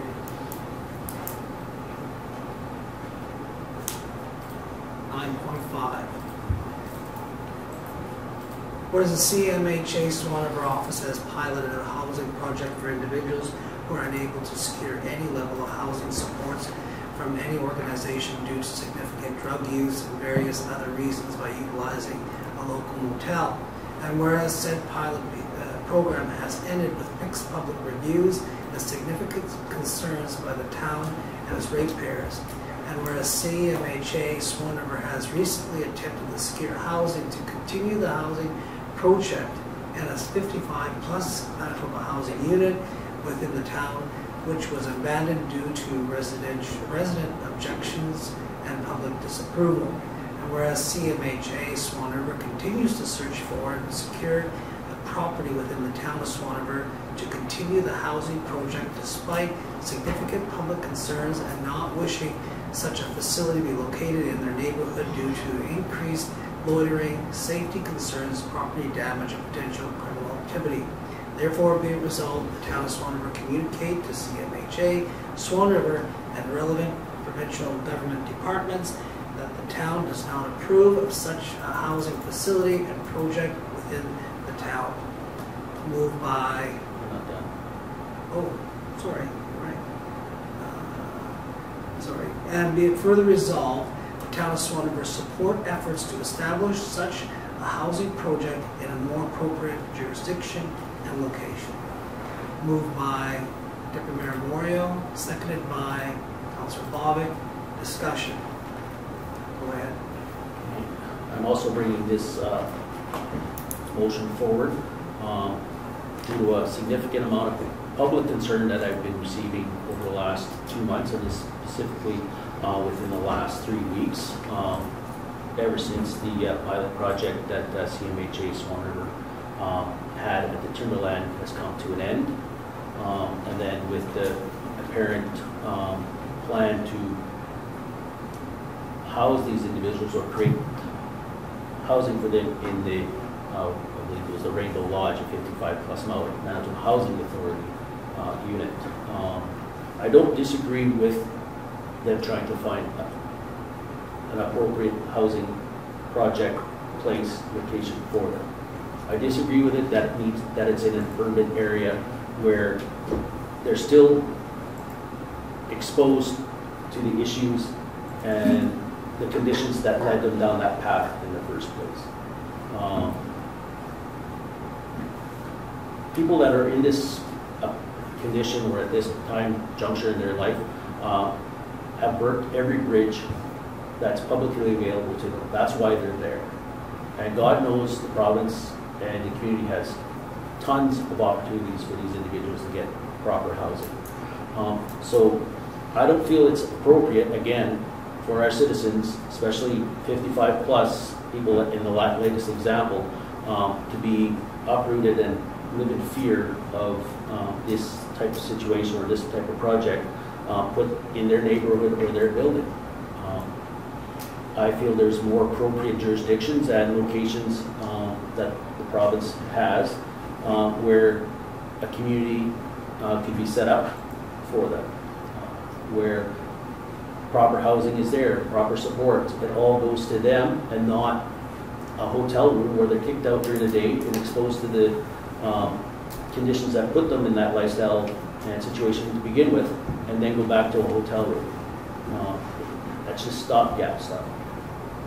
They need to look at it properly thought-out plan and in a proper location. And I'm not, I'm here to bring the concerns forward from the citizens, uh, that the town of Swan River is not the proper place. Any further discussion? Uh, Councilor Powell. Okay, so I just have to ask, okay, where's, is there proof that this is, because I have talked to CMHA in regards to this, this securing this housing. Is there proof or some sort of, um, that we, that they had attempted to do this with the 55 year or plus?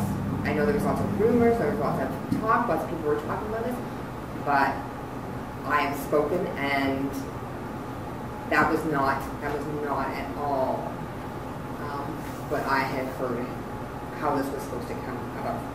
Um, I know that um, there was talks with Manitoba Housing, I think, but I'm not even going to say that that's confirmed because um, I think there, do, is there confirmation on that the CMHA was was trying to do this? This Nothing besides the communications that's been out there from the people, the residents that were in the Rainbow Lodge that were advised that this is coming and some residents had to I, I will say that I spoke with Mr. Wickley on this item after I was actually phoned by some of the residents. Uh, and, and he had told me that it was something that was, if we're talking specifically to the fifty-five plus, I think that's what we're talking about the resolution. Um, that uh, he had said that there was nothing in communication with that, with them. That's what he had told me. Uh, I don't know about Manitoba Housing, I never spoke with at Manitoba Housing. Uh, I know that the individual that did phone me felt, uh, was, was actually told that, um, this was happening from Manitoba Housing, but Mr. Wigley from, uh, CMHA told me that he was not aware of this. Uh, Counselor Whyte, did you have something? Uh, Counselor Medwid?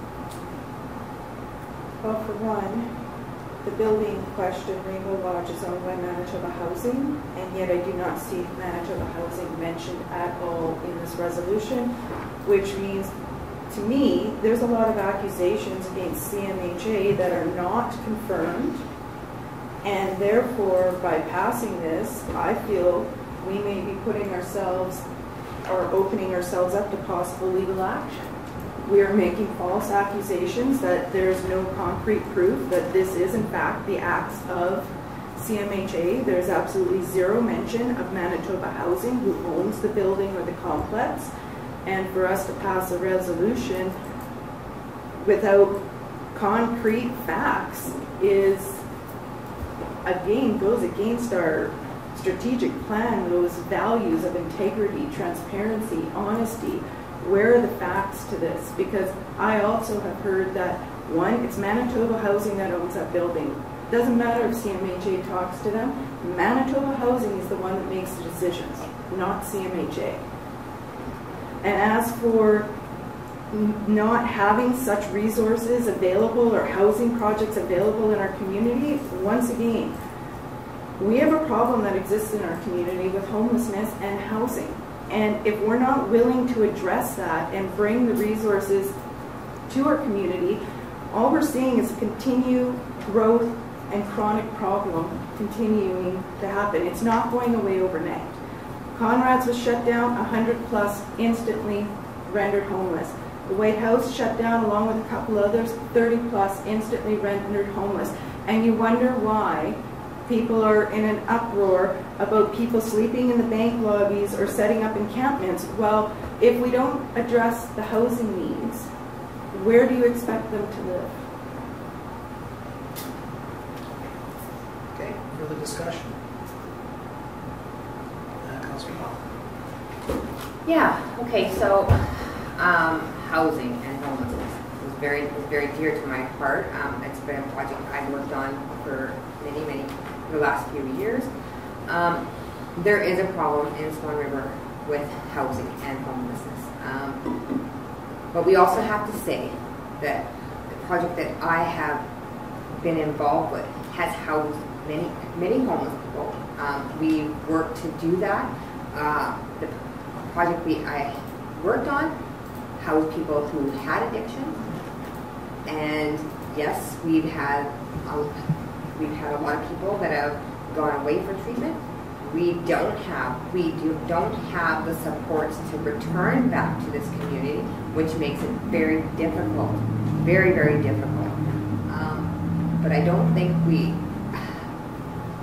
I think there's a lot of people that are trying to, and a lot of organizations that are trying to do a lot of great things. Um, but yet, I, I really think we have to, we have to look at it from the fact that we don't have the support here in Swan River um, when they return back from from treatment. We spend a lot of money sending people to treatment. We don't have, we do not have those supports for when they return. And I know CMHA is trying everything they can to um, to support support that with their echo buildings. I know they're they're in discussion with maybe converting some of those to you know to so there is, but um, I guess that's just what I want to say is that there is you know there I know there is a huge issue. I, I haven't had a huge success rate of um, being able to um, put people into houses without them being evicted and stuff like that um, because there's nothing for when they come back for from treatment. So.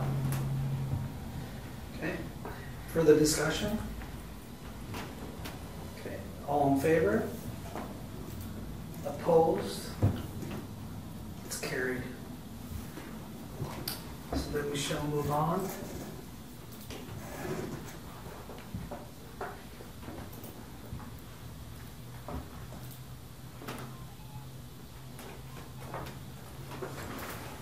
Is that a recorded vote, sir? But it was not, it wasn't asked. Okay, too late? Yeah, Okay. both done. Whereas Business View magazine is running a ten-page feature, running ten-page features on communities of several different population ranges on the need for federal funding, showing the infrastructure deficit in rural Canada. And whereas the town of Swan River has been selected in the population under 7,000 range and in exchange for a half-page ad in their magazine shall provide an editorial consisting of community profile and focus on three projects where federal grant monies are needed most in our community. Therefore, be resolved, the town of Swan River purchase a half-page ad due upon publishing of the editorial in the amount of twenty-nine hundred dollars USDA from Business View magazine. Moved by Bob- Bobick, seconded by Councilor Whyte. Discussion. All in favor, go ahead. Um, After watching the last council meeting that I wasn't there, there was some questions asked uh, regarding the value for dollars uh, that we spend, um, and what did we get out of it, and what is the legitimacy of this um, magazine. And um, I think Mr. Poole has written a, and then report to that as to what his findings and what communications he's has and stuff like that. And it does not appear that uh, it would be um, value for funds to be expended at this time due to uh, lack of information forthcoming from the organizations that's trying to uh, solicit this article and ad from us. Councilor Whyte. And ask, uh, For his general comments. Uh, As stated in my report, uh, just unsuccessful finding the detailed information of their readership. They state 15,000 magazines distributed.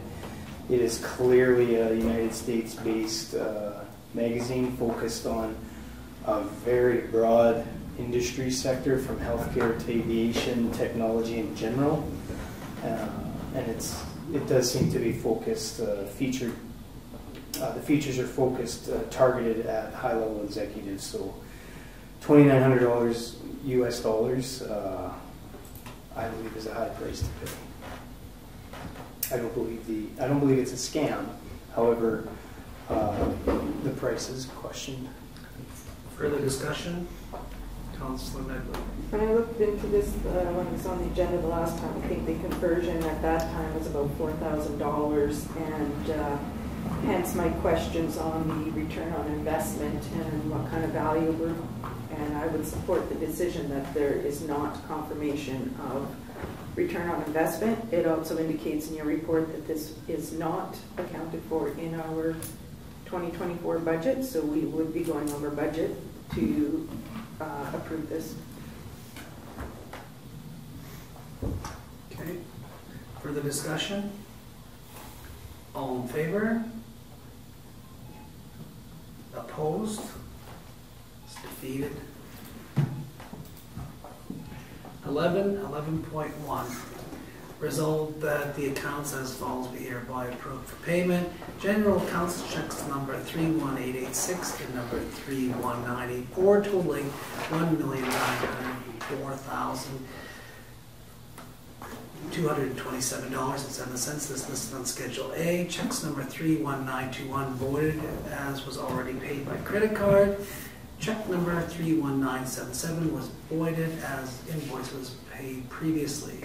Payroll cost checks number five four seven eight, number five four eight one totaling one hundred twenty thousand five hundred and five and sixty-seven cents is listed on Schedule B.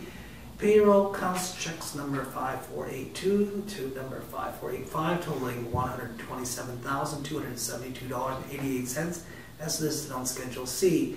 And direct deposit payments totaling $858.55 as listed on Schedule D. And direct depa- deposit payments totaling $49,758 and 66 cents as listed on Schedule E. Moved by Councilor Medwid, seconded by Councilor Powell. Discussion, Councilor Medwid. Would it be possible for CFO Gnida to just send me his check explanation, and I will let you know if there's any that I have highlighted here that are not in your explanation report, because I've got more highlighted than not uh, for the uh, Schedule A. And uh, in Schedule D, the direct deposit one, I would like an explanation for August 26th, Canada Border Services Agency GST imports. What was that pertaining to? So is the directive for CFO needed to have an explanation for every single check in Schedule A? Uh, No, the directive is for him to just share his check explanation report that he does monthly anyways, uh, that he used to share with us but doesn't anymore.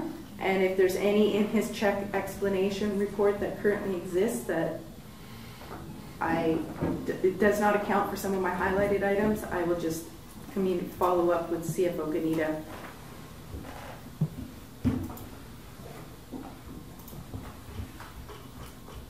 I guess I just, I question, how is, like, uh, a lot, the pressure is on CFO Gnida, what if he misses one? Like the, how is he I'll follow up supposed to know which ones are? He, he emails them to me before this meeting is even over, so I do know he has a check explanation report already ready. I'll compare it to the ones I have highlighted, and Oh, if there's anything outstanding, then I'll just follow up with him and ask specifically for those ones. Very well. Further discussion? Go ahead. Is this something that is done already? Is- Does he have a check explanation already, or does he do it just specifically for? He, he may have it himself, I don't, I don't require it, because council doesn't, we've decided it's not a part of the agenda anymore. Go ahead. As far as I know, that wasn't a council decision, because I certainly didn't vote on that. And he used to provide it monthly, and I greatly appreciated it, because it reduced the number of questions and explanations that I had or requested. We can straw poll we drop point. whether CFO Gnida adds the, his check explanations to the agenda or not. We're doing this in a resolution? We're Well, voting we on could do that this as the next cap. We can do that at a count meeting, but we're, this is on this resolution. Fair. Go ahead. Does CFO Gnida, do you have this already prepared already? Or is it something you go specifically and explain and, and send out? CFO Gnida. Yes, I have it already. Okay, so on the question, all in favor? Opposed? Abstain? Fair enough. It's carried. Eleven point two, resolve the financial statements for the seven months ending July thirty-first, two thousand twenty-four be adopted as received. Moved by Deputy Mayor Moriaux, seconded by Councilor Boychuk. Discussion? All in favor? Opposed? It's carried.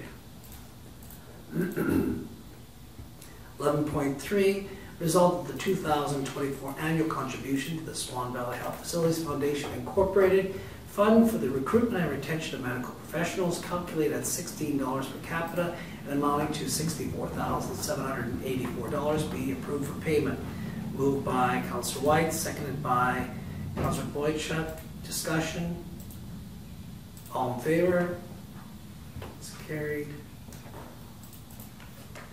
Twelve, twelve point one. Oh, no, I missed one here. Uh, eleven point four, whereas, uh, sections three twenty-six of the municipal act provides that a municipality may impose supplementary taxes, and subsections three hundred six and three hundred six point one provide that a municipality may cancel or reduce taxes upon receipt of an assessment of alterations from Manitoba Assessment Services.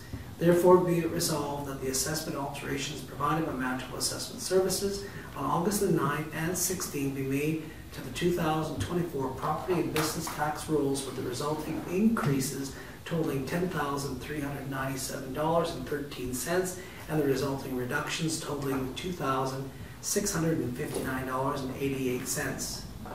Moved by Councillor Boychuk, seconded by Councillor Bobick. Discussion? All in favor? Opposed? It's carried. 12, 12.1. Result of the bylaw 5, 2024, being a bylaw of the town of Swan River to authorizing the payment of remuneration to members of council be read a second time. Moved by Counselor Bobick, second by Counselor Powell. Discussion. Mayor Moriaux. I don't know if it's appropriate, but it's deja vu, and I told you so. It's not appropriate. Next time, correct.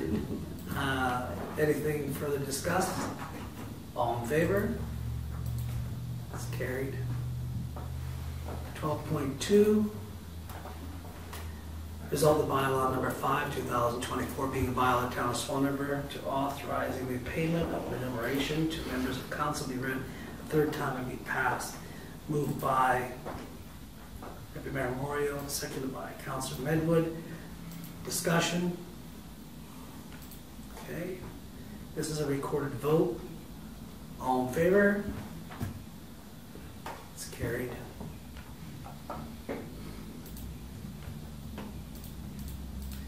Twelve point three.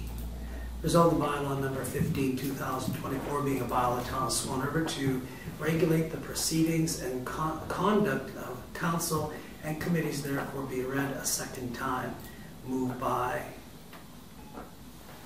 Councilor Whyte, second by Councilor Bobick. Discussion?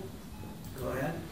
Um, I know you guys passed first reading at the last council meeting and then discussed it at the, the cow meeting that I wasn't at, but, uh, what was the rationale for removing like all the, uh, examples of the motions and, and that, that was read, in the red line? Uh, this is for the procedures, right? Yes. This is procedures. It's to move the members. It was members' privilege, and then the third meeting on Tuesdays. Yeah, I understand that, but the question is, is why was the, why are we removing, um, all the sections that give us sort of a, a cheat sheet guide to like the, uh, different types of motions and with motions proceeds, others like point of orders and,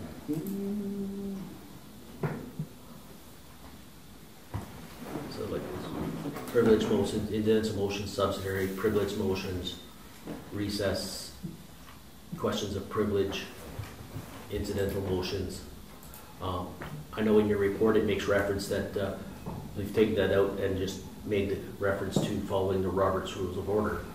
Um, But as you can see, that book is an inch and a half thick versus uh, two and a half pages here where it's a quick, Right. So the reasoning is, is when we did question our procedures, we always went back to Robert's Rules of Orders. So we, we did ask other municipalities, and they said, well, what do you fall back on? Robert's Rules of Orders, make that the way. So that was the reasoning. So we, ha- if we have it in our procedures bylaw, we shouldn't be falling back on Robert's Rules of Orders. If we follow Robert's Rules of Orders, follow Robert's Rules of Order. That was, that was the thinking on that. okay, I'll find my workaround. Further discussion? All in favor? It's carried.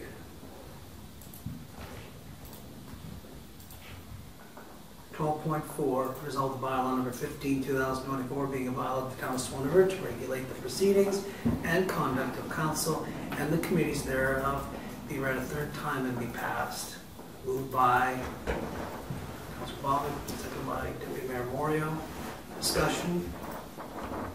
All in favor? Opposed? It's carried. Resolved that pursuant to sections 152-3 of the Municipal Act, council will go into committee and close the meeting to the public. Items to be discussed will be the uh, HR and service to senior requests. Moved by Councilor Medwid, seconded by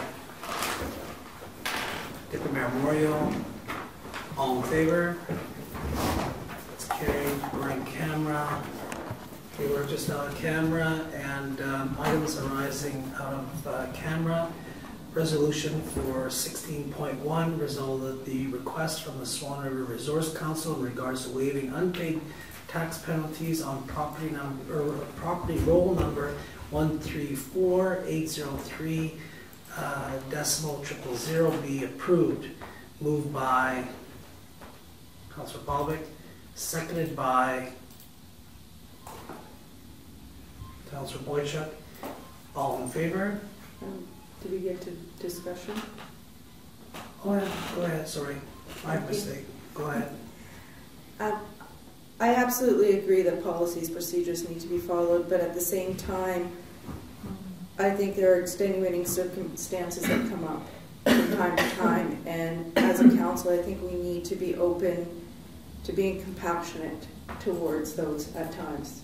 And sometimes exceptions can and should be made.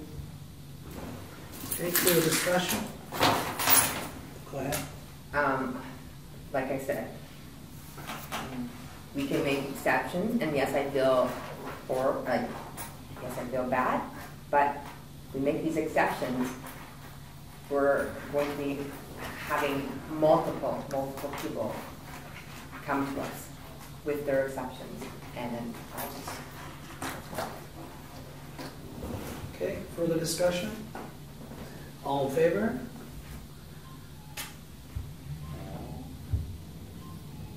Can you read the resolution again, please? yeah. The resolu, the resolution reads, resolved the request from the Swan River Resource Council in regard to waiving unpaid property penalties on property roll one three four eight oh three decimal triple zero be approved. Moved by, I think it was Counselor Bobick, seconded by Boychuk. Boychuk.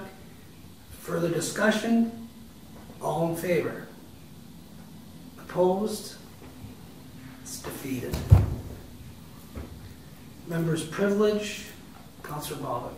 Uh, not much to speak of, just a friendly reminder to the cemetery committee, I think we need to be looking at an attendant for that cemetery, just to, who's ever on there, we get time to have a meeting.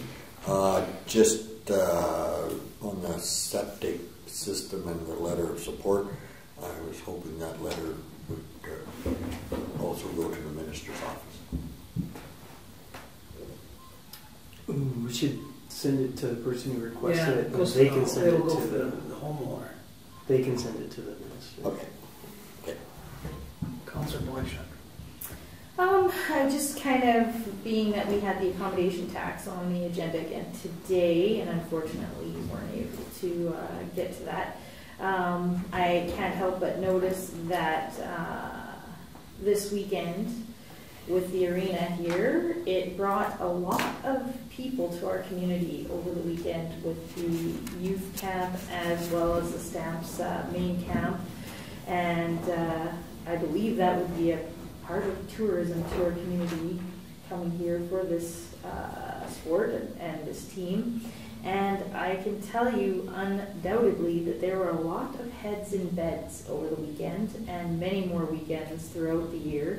Uh, also saw some Airbnbs posting about hosting hockey players as well. So it seems like everyone in the community was full up due to um, the provision of this recreation activity in our community. So just something that I, I thought might be an interesting thing to uh, bring up. Uh, as well, I want to commend the recreation department for uh, all the initiatives and especially the community people that have come out to support different initiatives within our community. Uh, you've got uh, the Bordian family uh, cement works or Bordian construction with the volleyball court. Uh, we've got the play structures up at the uh, arena now. It looks wonderful in there. Um, uh, Corby Henninger was it? Uh, with the disc golf course, like what an amazing.